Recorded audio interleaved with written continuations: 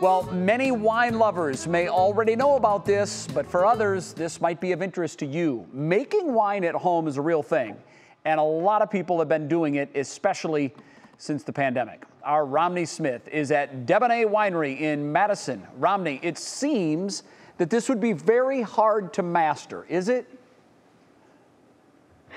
Jay, I have to tell you, there are several steps you'd have to pay attention to. There are a lot of options. I'll get into that in just a moment.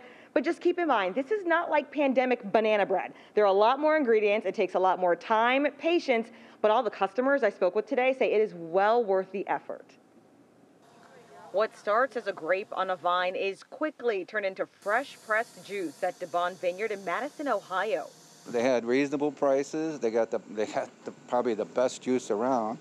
You can either you can either press the grapes yourself or you can buy the juice. The latest trend is people coming in to try juice. Well, let me try a, a darker red and then a, uh, a pinker one. Then making wine at home. If you follow the steps, it's it's attainable. You can really do this, but there is some attention to detail that people need to follow. DeBon sells everything you need to get started from the juice to the chemicals to the containers. Chris Conrad has made his own wine for five years and has a clear favorite. Chardonnay so far. I enjoy making this, the Chardonnay. It's, uh, it's easier wine to make and it ferments faster. Some advice if you take on the make your own wine challenge. The first few times you want to do as little um, manipulation, and you, so you might not have to adjust the acid. You might you don't want to adjust the, the Brix. If making your own wine seems scary, you could just enjoy the juice.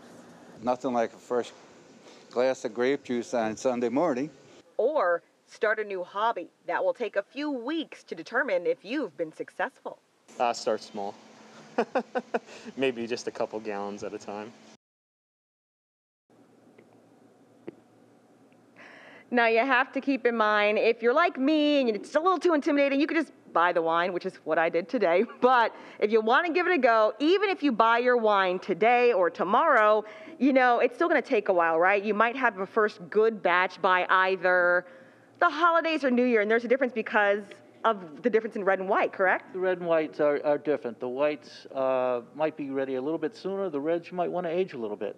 And that's because of the flavor profile? Yes, exactly. And speaking of flavors, Jay, Betsy, I heard you had a question for us. First of all, have you tried the product? Do you like it? Yes, of course I do. it is good. I mean, you can't come to a vineyard and not. No, listen. It I, is good. I, it is. There's a lot. Uh, there's a lot of wine to try. And uh, you know, speaking of that, Jay, behind me, I alluded to it.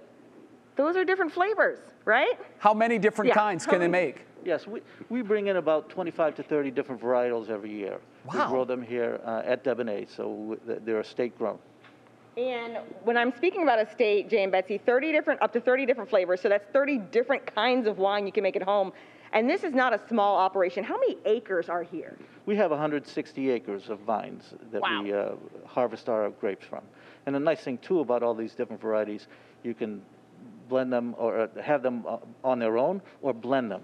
So you can, again, just be creative with them. Absolutely. Thank you so much. Cool. And this is the wine master right here. So I have to let you guys know 30 different kinds of wine. You can buy the grapes, you can buy the juice, you can make your own wine, which means a lot of time during the winter months to try to hey. do this. But you need to get your juice now. They don't go on to the end of the year. So certainly come on out to Madison, Ohio. It's a beautiful farm. I vineyard. bet. Thank you. Yeah, guys. and I, am sure they are good. But Betsy would like to just make sure. So if you can, she'd like mm-hmm. to maybe sample a little bit later on. Very important. Yeah, very important. We'll have multiple. We have to maintain the integrity of the journalism by making sure it's good. right. right. She needs to taste it. She needs to be able to prove it. Romney, thank you.